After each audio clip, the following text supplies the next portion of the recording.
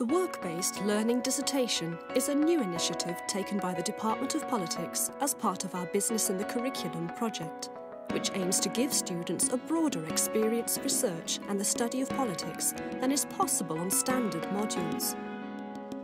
The pilot scheme with six undergraduate students on board took place in the 2007-2008 academic year. My project is about apathetic young voters and why they're abstaining and what is the Conservative Party in particular doing to re-engage them. Looking at HIV AIDS in India and Sri Lanka and seeing which government is better, if any, at uh, HIV AIDS uh, treatment. About uh, issues of multiculturalism in Blackburn, how there's limited interactions between the two people and kind of what the policies are to address that uh, from the council. It's a comparative analysis of transparency policies in Riga City Council and Sheffield City Councils. My project was about the role of grassroots network organisations in international development and it was looking specifically at Engineers Without Borders, UK. At the start of the academic year, each student identifies an organisation to work with and negotiates with them to produce a piece of original work which acts as both a standard academic dissertation as well as a unique free piece of research tailored to whatever the outside collaborator requires. The collaboration can take the shape of a typical work placement, a series of short visits to the organisation, or by using modern methods of communication, students can work remotely with an overseas collaborator. I went uh, to Sri Lanka last summer. I was working there on an internship, so that's why I originally started uh, doing the project. Just the whole thing's been uh, a very large learning experience that I definitely wouldn't have got if I'd done the normal dissertation. It gave me an opportunity to really pick something that I liked in my course, but then also related to something in real life. So I was already involved with Engineers Without Borders, but it gave me an opportunity to link up my course with that and uh, apply theory to practice. Carried out interviews really with uh, key informants in the constituency. So there was like community leaders, key councillors and party officials. Um, so there was meeting with people from different backgrounds. I had to be kind of sensitive to the issues really. Well, originally I was involved in a democratic movement back home and uh, that was the main motivation for me because I was interested in how to better democratise Latvia further. I think it did work out brilliantly because I got a mentoring scheme first of all and I've just completed it all in Sheffield City Council and my mentor Phil Taylor has helped me a lot throughout the research and uh, all the contacts were really easy to acquire. The students have been given experience in making use of their contacts, uh, negotiating, networking.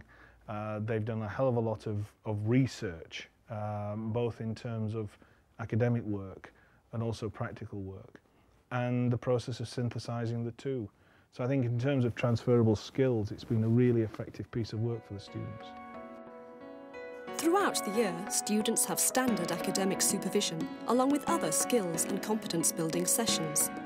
The Work-Based Learning Project culminates in a unique presentation day, which is treated as a mini academic conference.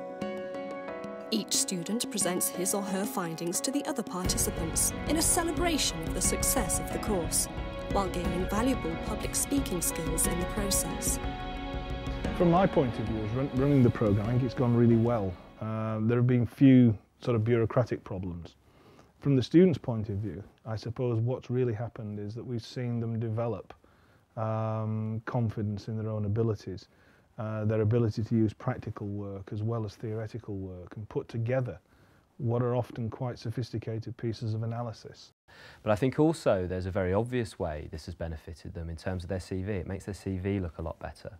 Um, and already we've heard a couple of the students have gone for job interviews and it's been the first thing that potential employers have wanted to hear about because it's very unique and many other students don't have this kind of experience. I would say, main bit of advice, get in contact with whichever organisation you're collaborating with or point of contact as soon as possible. Be interested, do nothing what you're not interested in because it will be really difficult, I'd assume. Keep in contact with your tutor because they, they are helpful um, in getting you through it. Because it's a new piece of work, it's a non-standard dissertation, you can't go to other students necessarily. Time management skills, it takes a lot more than a normal dissertation because you start it earlier and you've got a lot more work to do because you have to constantly be in collaboration with your organisation. Start researching straight away, start get, the, uh, get in contact with organisations now. The more you do now, the easier it's going to be for the, the rest of the whole dissertation. And as long as you just keep doing bits like every every week. Uh, you know, just sending an email, just expressing your interest in things like that, then it will definitely help in the long run. And do it, definitely do it.